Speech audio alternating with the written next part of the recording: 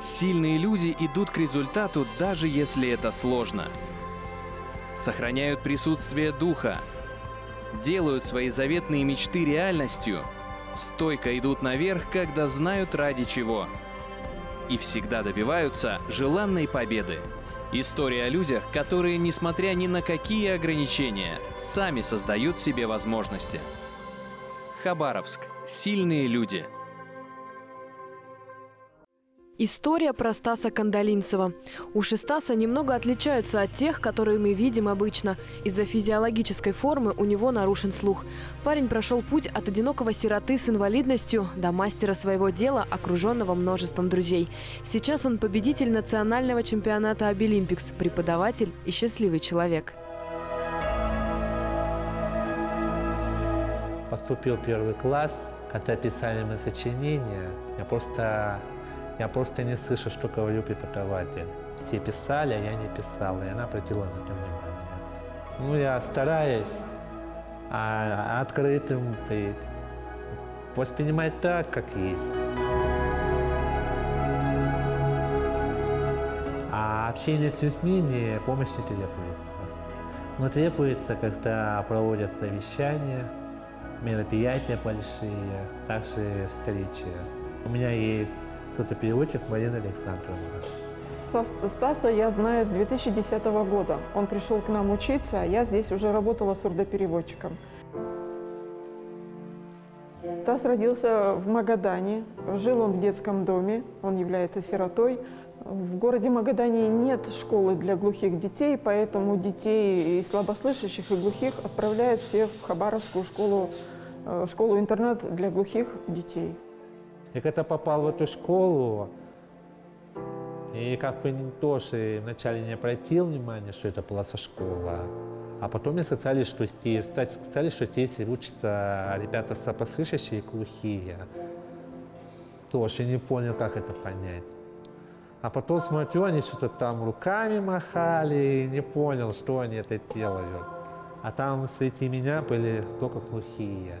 И я же понимал, что а как с ними общаться, если надо что-то делать. И тут как раз на полке стоял букварь, где там был шестый алфавит. А, П, В, Г, Д. И я начал учить. Когда Стас закончил школу и встал вопрос о том, куда дальше идти учиться, выбора особо не было. Было единственное учебное заведение, где работает сурдопереводчик. Это вот наша э, ПТУ номер 6 было.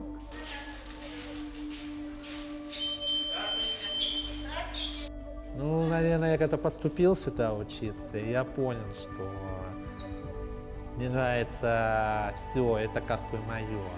Мне кажется, что кроме вот этой вот работы нигде такому не обучатся. Потому что многие люди, которые сидят в сидящем месте. Ну, это как бы не мое. Мое движение. Понимаете, движение – это жизнь. Я готовлюсь к международному чемпионату Олимпийского.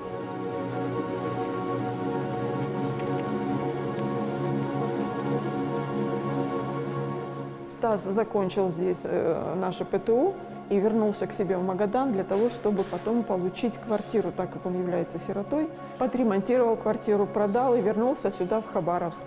Здесь себе приобрел жилье, устроился домостроительный завод.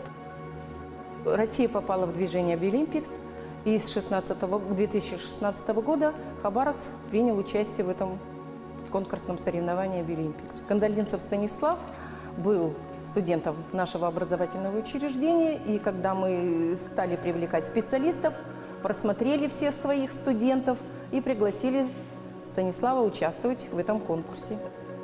Ну, первый раз, ну вот, вот, вот так вот выглядело. Понимаете, потому что я никогда не работал с жидкими обоями. Первый, второй, третий, четвертый раз получалось, а потом четвертый, пятый уже понял. После тренировки мы ищем свои недочеты. И следующая тренировка э, дает э, сделать лучше. Из пяти человек то должно выйти, выйти международный чемпионат два человека и один в резерве.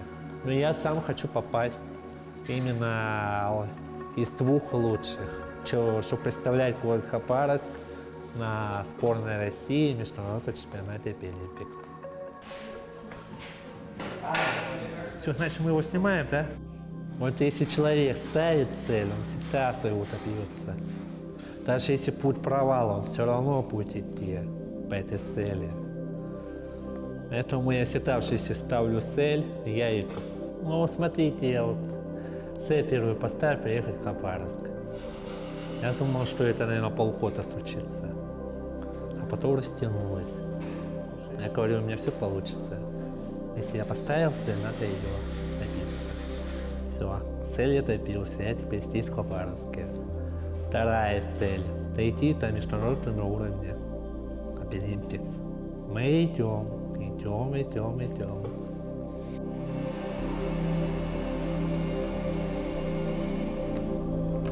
В 2020 году Галина Сатана мне предложила устроиться сюда на работу. Мастера производственного обучения. По плясовке плея. Доброе утро, ребят. Здравствуйте. Здравствуйте. Просто иногда в голову приходит, а как ты будешь дальше с системой работать? Будут тебя понимать или нет? Когда я пришел 1 сентября на работу, ну, обычно студенты собирают по группам и по кабинетам их да, для знакомства. Ну, я так как человек очень скромный, как бы не умею вот так вот сразу, знаете.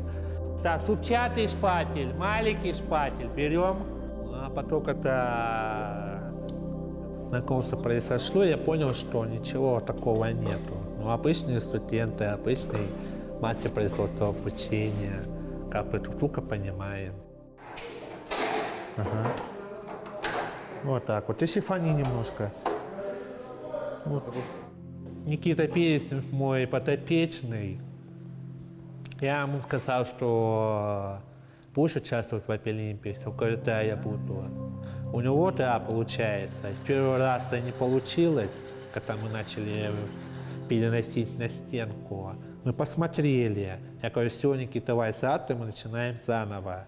Ну, то есть быть очень внимательным. Но я за него волнуюсь, наверное, больше, чем он. Но я думаю, да, мы выйдем пятерку лучших. То есть я ему говорю, я даже позвоню родителям, говорю, говорю, давайте мы его поддержим, давайте мы его будем мотивировать, э, вести его дальше. Родители говорят, да, с удовольствием мы это, я говорю, пожалуйста, потому что мотивация и поддержка – это главное для человека, чтобы он думал, что он не один, да, а мы рядом, которые мы его окружаем, тренируем, подсказываем и как бы ведем его в правильное направление. Не страшно стало? А? Не страшно стало, когда Все хорошо, ты должен мотивировать, не бойся. Родители будут гордиться.